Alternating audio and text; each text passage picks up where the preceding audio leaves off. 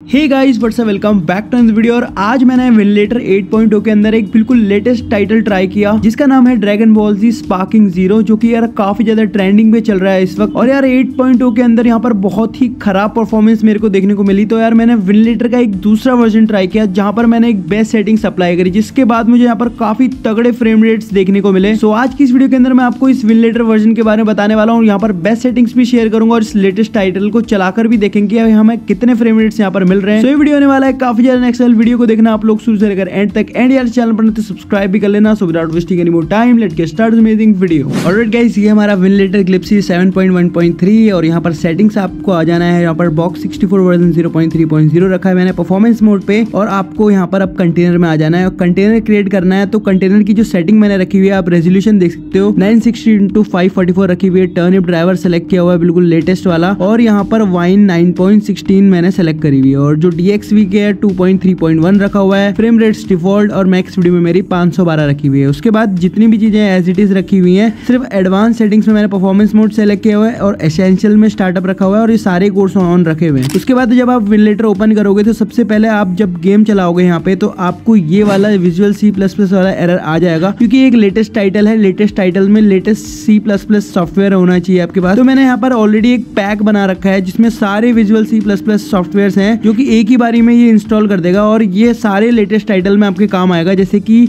Stray game के अंदर भी आपने ये इशू देखा होगा तो ये लेटेस्ट गेम्स के अंदर ही होता है तो आपको ये लेटेस्ट वाले सी प्लस प्लस इंस्टॉल कर लेना है, उसके बाद भाई अपने गेम को रन करना है, और भाई यहाँ पर देख सकते हो, कुछ टाइम ये यहाँ पर डार्क स्क्रीन में रहेगा, उसके बाद आपका गेम यहाँ पर स्टार्ट हो जाएगा, इस तरह से कट सीन के साथ, और भाई यहाँ पर ना परफॉर्मेंस काफ़ी अच्छी मिल रही है विन लेटर एट से कहीं ज़्यादा, क्योंकि एट के अंदर भी मैंने इसे टेस्ट किया, और भाई बहुत ही ज़्यादा लैग हो रहा था बट यहाँ पर मेरे को काफ़ी ज़्यादा अच्छे फ्रेम रेट्स देखने को मिल रहे हैं, भाई आप देख सकते हो फोर्टी प्लस एफ़ मिल रहे हैं पूरी तरह से ये प्लेबल है। अभी इस कट सीन के जाने के बाद मैं आपको दिखाऊँगा अभी प्ले करके इसमें। तो देख सकते हो कट सीन हट चुका है। और अभी आप देखोगे कि भाई यहाँ पर परफॉर्मेंस काफ़ी अच्छी मिल रही है। इतने ज़्यादा लेटेस्ट टाइटल होने के बावजूद भी। क्योंकि इस गेम की ऑप्टिमाइजेशन बहुत ही ज़्यादा अच्छी है। आप देख सकते हो यार, काफ़ी ज़्यादा प्लेबल फ्रेम रेट्स यहाँ पर मिल रहे हैं इवन ऑन ए इम्यूलेटर तो भाई, बहुत ही बड़ी बात है यार, आजकल मोबाइल डिवाइस में भी ऐसे लेटेस्ट टाइटल हम ऑफलाइन चला पा रहे हैं। और अभी मैं आपको इसकी ग्राफिक सेटिंग्स भी दिखाऊँगा, जिन्हें की आपको अप्लाई करना है, जो की आपको और भी अच्छे फ्रेम रेट्स देगी। तो अभी आप देख सकते हो यार कितना अच्छा यहाँ पर प्लेबल एक्सपीरियंस मिला अराउंड एक्शन के टाइम मुझे 20 टू 25 तक एफ़ देखने को मिल रहे हैं। तो अभी मैं आपको इसकी सेटिंग्स भी दिखा देता हूँ। तो गाइज़ ये सेटिंग वाला पार्ट आपको बिल्कुल भी मिस नहीं करना है। ये आपको ऑप्शन पे ही देखने को मिल जाएगा। तो यहाँ पर जो मैं सेटिंग्स अप्लाई कर रहा हूँ, वो लोएस्ट पॉसिबल रख रहा हूँ। रेजोल्यूशन तो लो है ही बट आपको जो है, जो रेजोल्यूशन है, वो तो लो ही है बट इसको सारे विजुअल्स को भी आपको लो करना है। और जो मोशन ब्लर है, उसको ऑफ़ कर देना, क्योंकि यार वो सच में बहुत ही ज़्यादा अनोइंग होता है हर गेम में। मेरे को तो पर्सनली पसंद नहीं है जो फ्रेम्स बहुत ही ज़्यादा ड्रॉप होते हैं उसकी वजह से तो आप उसको ऑफ़ ही कर देना मोशन ब्लर को और बाकी सब कुछ आपका लो रहेगा। तो इससे आपको काफ़ी अच्छी परफॉर्मेंस मिलेगी, आपका थोड़ा गेम कम लैग होगा और प्लेबल फ्रेम रेट्स मिल जाएँगे। और यहाँ पर शुरुआती सीन में आपको काफ़ी अच्छे फ्रेम रेट्स देखने को मिल रहे होंगे। अभी काफ़ी ज़्यादा